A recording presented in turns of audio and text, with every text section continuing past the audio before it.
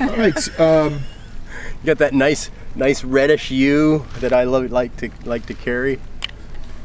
you're Yeah. popularly known as the desert gardener. Yes. A little bit of irony here in the jungle.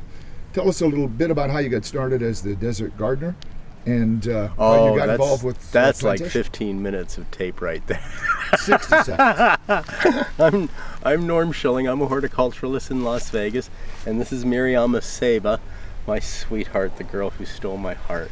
And uh, we're here on our lot in, in Belize on on LaQua Plantations, and uh, I'm a gardener. She's we're both really earthy people, and this is just a beautiful space that captured our hearts. Um, we came up here nine months ago and stood on this spot, and she turned to me and said, this is it. This is where I want to be. And so, you know, I didn't need anything more than that. But it's a really beautiful space. It's a beautiful country, wonderful people. This is our second trip out here. We love this place.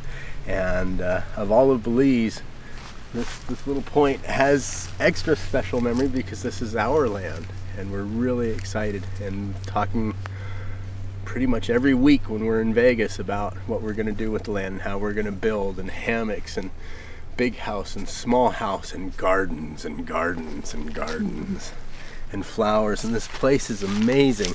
It's just covered with with flowers.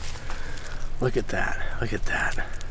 Just just a weed a vine growing here on the land. So the place is is, is rife with potential and we're really excited.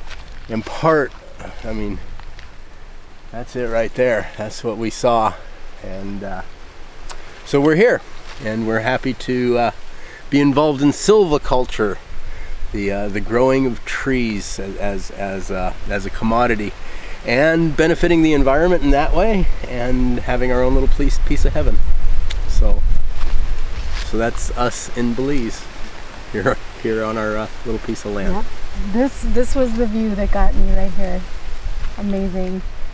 I'm a mountain girl, so I saw these mountains and, and I felt right at home. And uh, and then the ocean is about 15 minutes in the other direction.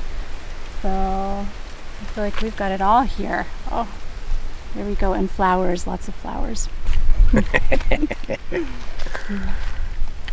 Thank you. you're welcome our pleasure truly